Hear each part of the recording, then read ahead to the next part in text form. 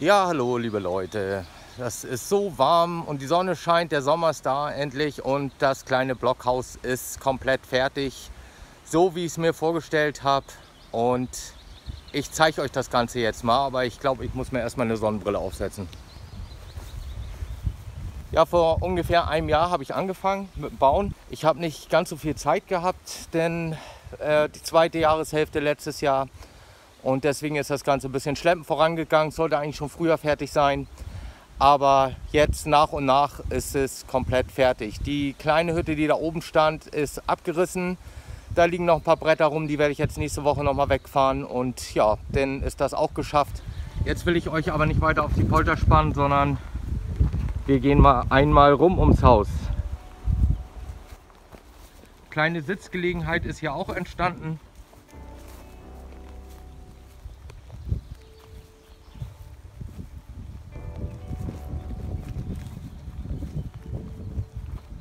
Toilette darf natürlich auch nicht fehlen.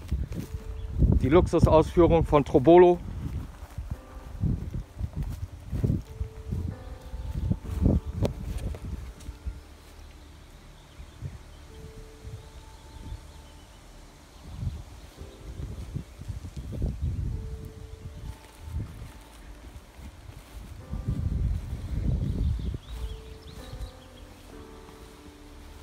Kleine Solaranlage hängt hier noch. Die kann man gut aufs Dach. Man sieht, da ist ausreichend Sonne. Aber da bin ich jetzt noch nicht zugekommen. Ja, so ein paar Kleinigkeiten. Ich gebe es ja zu. 99,3% fertiggestellt.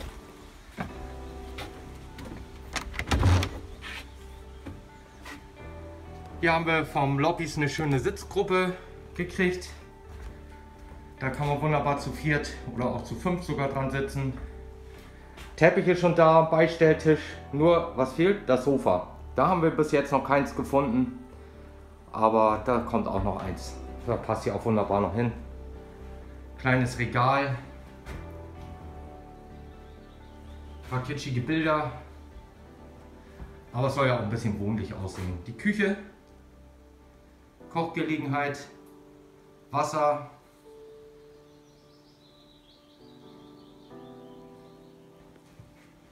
Hier oben die Schlafgelegenheit. Hier wurde auch schon übernachtet. Es gab keine Beanstandung. Das geht ganz wunderbar da zu schlafen. Ja, erster Tag, knapp 30 Grad. Da muss man sich auch erstmal wieder dran gewöhnen an die Temperaturen. Diese Küche, die war ja vorher in der kleinen Hütte da oben, die man wirklich nicht mehr benutzen konnte. Da gibt es auch keine zwei Meinungen. Also sie war baulich total im Eimer. Da war alles schief und ja, da konnte man wirklich nichts mehr machen mit der kleinen Hütte. Aber ich habe gerettet, was zu retten geht. Zum Beispiel diese Küche, die war wirklich noch gut. Die konnte man so sich hinbauen, dass sie hier ganz gut reinpasst. Abspülen kann man auch. Die Fenster, die sind ja auch aus der alten Hütte noch. Die habe ich neu gestrichen, ein bisschen überarbeitet. Das ist auch alles ganz wunderbar, so geht gut. Genauso das Fenster, das ist auch original alt.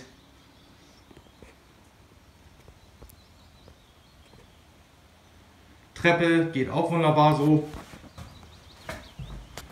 Das Schöne ist dadurch, dass ich den Boden doppelt gelegt habe, federt er überhaupt nicht. Ist wirklich richtig schön hart und knatscht nicht. Also das ist wirklich definitiv zu empfehlen. Zwei Lagen Holz vom Holzboden, das ist schon eine schöne Sache.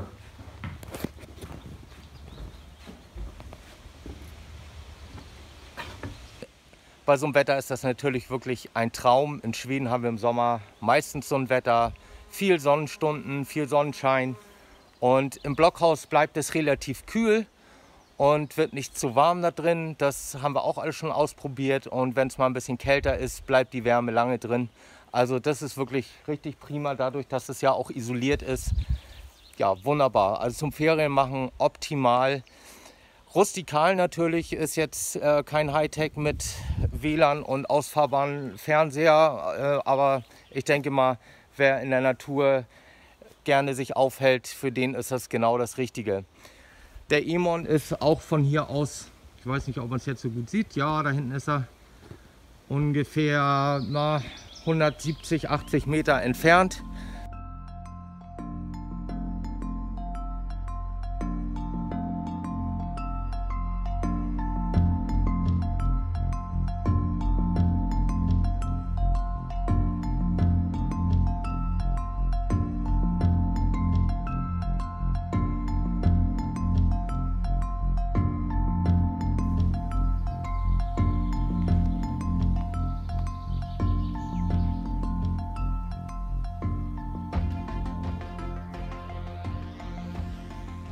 Da kann man also in ein paar Minuten, zwei, drei Minuten braucht man hier ähm, durch den Weg da hinten.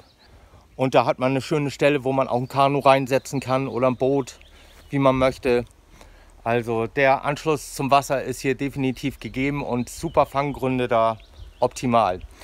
Was ihr vielleicht gedacht habt bis jetzt, dass wir das Ganze vermieten wollen. Ja, also wir haben uns dazu entschlossen, das Ganze hier nicht als Vermietobjekt für uns sozusagen ähm, zu benutzen, sondern ähm, da wir dieses Grundstück nicht so gut zum Heu machen und so nutzen können, ähm, wollen wir das andere Blockhaus, was ich gerade baue, auch hier mit auf das Grundstück stellen. Und dann wird das ganze Grundstück abgestückt oder geteilt. Das ist schon ein separates Grundstück, äh, braucht aber praktisch einen eigenen Namen. Und ja, das kann bis zu elf Monate dauern. Ich werde das jetzt demnächst in die Wege leiten, dass das äh, hier abgestückt wird und eigenes Grundstück wird. So, und wenn das andere Haus, äh, andere Blockhaus hier drauf gebaut ist, dann wird das Ganze verkauft, weil wir mit dem Grundstück sonst weiter nicht viel anfangen können. Und äh, auch ehrlich gesagt nicht so die Typen sind, die jetzt andauernd äh, Feriengäste betreuen wollen. Das ist einfach nicht so unser Ding. Und ja, Deswegen haben wir uns einfach entschlossen, das Grundstück mit den beiden Blockhäusern denn zu verkaufen. Das andere Grundstück wird auch ähm, normal Elektrizität bekommen und auch eine, eine Kläranlage. Also das wird ein richtiges ähm, Wohnhaus sozusagen, also Ferienhaus mit allen ähm, Annehmlichkeiten. Man könnte es praktisch auch für zum dauerhaften Wohnen nehmen. Ja, das ist der Plan. Es ist ein etwas größeres Bauprojekt. Ich hoffe, dass ich, sobald das Grundstück hier abgestückt ist oder äh, separiert ist, dass ich denn das Ganze fertig habe, das andere Blockhaus, äh, so dass das Ganze dann zum Verkauf bereit steht. Ich weiß nicht, ob man das hier hinter mir sehen kann. Wahrscheinlich nicht so gut, aber es ist auf jeden Fall hier das meiste vom Grundstück einfach zu zu schräg, um hier wirklich mit Maschinen zu arbeiten. Vor allen Dingen würde es sich nicht lohnen, weil das, was hier an äh, Grasfläche ist, reicht auf jeden Fall nicht aus. Also für die, den Aufwand dann nachher für, für 50 Heuballen zu treiben, ist einfach viel zu groß. Ich nehme euch jetzt noch mal mit und zeige euch, wo ich geplant habe, das andere Blockhaus hinzustellen. Bis jetzt haben die Nachbarn das äh, hier hauptsächlich genutzt und die Pferde dann im Herbst hingestellt. Die haben dann einmal alles abgefressen hier. Die konnten das letzten Herbst auch wirklich gut gebrauchen bei der Heunot, die wir hatten und Futternot. Ja, hier sind noch die Reste von der Hütte. Da muss ich noch mal weiter sammeln. Aber ja, so viel ist es auch nicht mehr. Steht der Anhänger schon wieder bereit zum Vollmachen. Ja, und hier an der Stelle. Hier geht es zur Straße. Was heißt Straße? Also hier fahren maximal 20 Autos am Tag. Sonntags auch mal weniger. Das wird jetzt praktisch das Grundstück werden. Hier soll das andere Blockhaus hingestellt werden. Hier hat man auch einen wunderschönen Blick. Jetzt im Moment, wo die Bäume grün sind, kann man den Fluss nicht sehen. Und nicht wirklich, dahinter ist der Fluss. Hier ist das andere Blockhaus bekommt man auch mal einen kleinen Einblick, wie dieses Grundstück überhaupt so aufgeteilt ist. Ich hoffe, das Video hat euch gefallen und ich sage bis nächstes Mal. Tschüss.